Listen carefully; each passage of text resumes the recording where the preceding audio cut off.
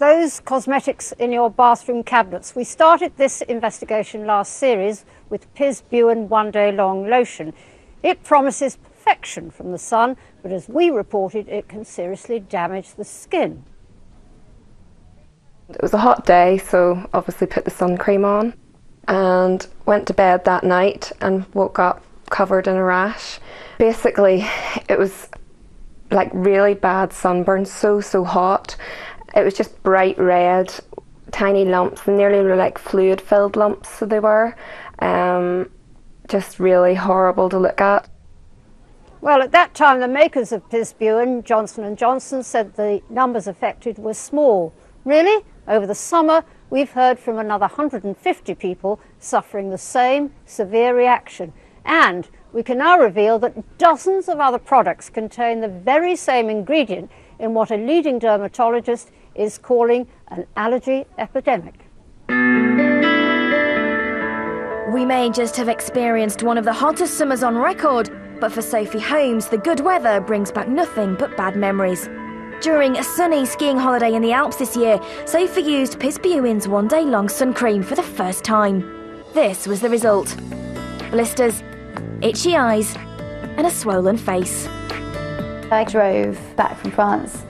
As we were driving, it got worse and worse and worse and started to swell in my face and my neck. So I went straight to A&E in London and they prescribed me with steroids to reduce the swelling because there was a worry that it was restricting my airways um, and could become fatal. But this wasn't the first time this had happened to Sophie. Three months earlier, she'd had a similar reaction, but to an entirely different product. Not Piz Buin that time, instead, a Clarins moisturiser. It was burning and itchy and really hot with sort of red sort of lumps all over my face. So when I reacted to the Piz Buin and thought back to when I had had the reaction to Clarins, I knew that something must be linking the two together. She was allergic to one of the ingredients found in both products, a chemical known as methylisothiazolinone, otherwise known as MI. I'd never really considered any ingredients that go into products that I use. I'd never heard about MI before I'd had a reaction. Well, we have heard of it.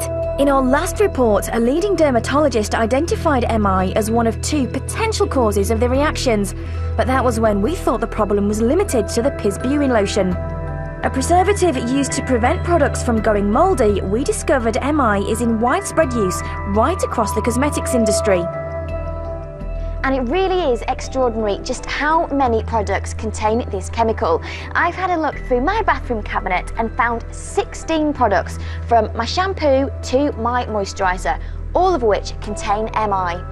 And that's before I've even started on my makeup. And that's fine, providing, like me, you don't have an adverse reaction to it. There's just one problem. Many of you do. For dermatologists in the UK, the expected rate of an allergic reaction from any cosmetic product is 1 to 2% of the people they see. However, according to data from leading clinics across the UK, the rate of reaction to MI is currently running at more than 10%. So that means for every 100 people tested with MI, more than 10 suffer an allergic reaction. It's a figure that has shocked leading dermatologists like Dr. Ian White. The frequency of reactions to MI is unprecedented in my experience. We've never seen anything quite like it. It is a new phenomenon, and at the present time, there's no suggestion that we have reached the top of that frequency or that it is starting to drop. To put that in context, you need only look back to the last time a cosmetic preservative was banned. The European Commission outlawed the chemical when it displayed a 4.5% allergy rate. But with MI, the number is more than double that 10% and rising. No one has ever, as far as I'm aware, seen anything uh, similar to this occurring in Europe or anyone el- anywhere else. And there could be many more people out there who don't yet know they're allergic to MI. People like Vicky Hall. She's suffered extreme reactions to Piz Buin and two other products, but has never understood the cause. So we've arranged for her to be patch tested. Free on the NHS, the process involves having 34 substances, including MI, applied to the skin. After two days, any allergic reaction should show up as a small red rash. I joined Vicky and her dermatologist, Dr. Chopra, to find out her results. So, Doctor, results are in. Is Vicky allergic to MI or not? Well, shall we have a look? Okay, turn around, Vicky, let's find out. Now, this is the template, and number 17's uh, MI. And if we look, MI, you've got a florid red reaction there. How does that feel, Vicky? Is it itchy and sore like when you actually had the full reaction? Yes, it is. Um, it's it, it's had tingling, it's had burning. At the moment, I just want to sort of really just pull it off. Now Vicky knows she's allergic to MI, at least she can avoid it. Now I will be able to sort of go looking when I buy cosmetics and household products for that ingredient in the products I buy and use every day. But should Vicky have to stop buying products? If MI is causing reactions in so many people, shouldn't companies simply remove it? Right now, MI is legal, and changing the law could take years. But Dr. White says with such a high rate of allergic reaction, it's up to the companies themselves to do the responsible thing and simply stop using it. Contact allergy to this permitted preservative is now of epidemic proportions. What needs to happen now is that immediate action needs to be introduced or taken by industry.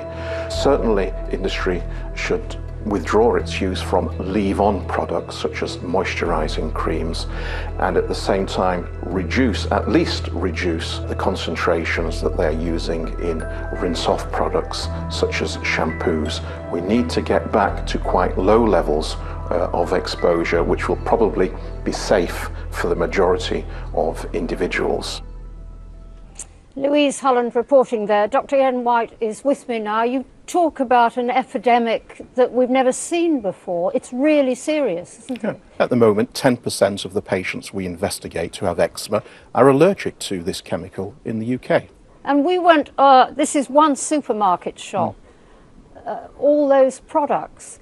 If it is that bad, why isn't it being banned? Why aren't manufacturers doing something about it? Well, first of all, as it said in the film, it will take some years before there's a regulatory intervention here. In the interim, it's the onus is on industry to stop using this substance or at least reduce the amounts of this substance that it is using in its products. But overall, there's no evidence of that, is there?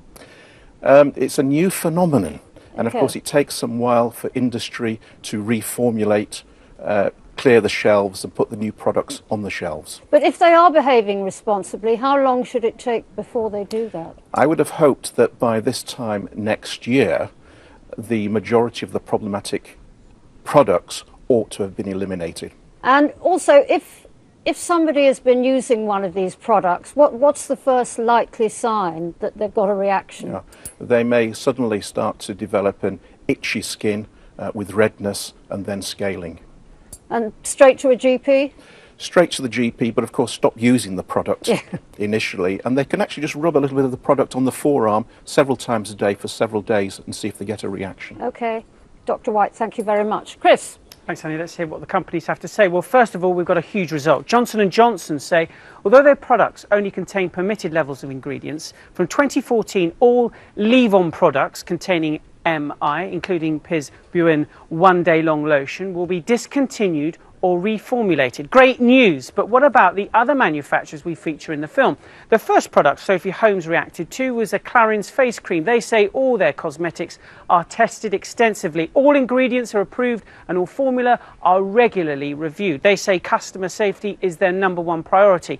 This is echoed by the Cosmetic, Toiletry and Perfumery Association who represent the industry. They say they're working with the dermatologists to understand the new information and decide the best course of action. They say amending or removing ingredients is a complex process. They urge anyone who has a reaction to ring the customer care line printed on the packaging. As for the other products we've identified, well, we'll be contacting the manufacturers to see if they're going to follow Johnson & Johnson's lead. We'll let you know how we get on next week.